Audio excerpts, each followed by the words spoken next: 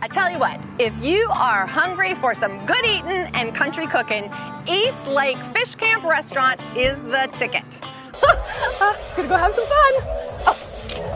You ready? I'm ready. Go around the way. I've never done this before.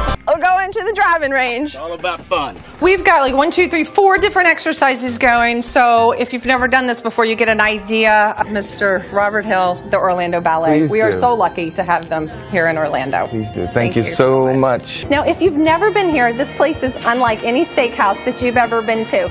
I want to tell you a few things to keep in mind. Super fun. I am ready to go try these babies out because I suddenly feel the need for speed.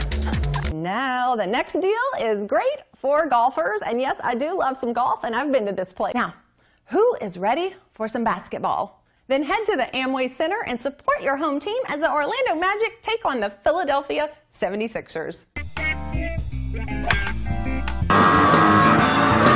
Eight alligators.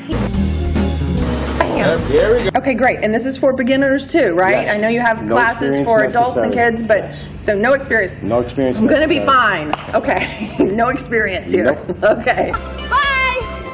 I'm going back in. Woo! Nice.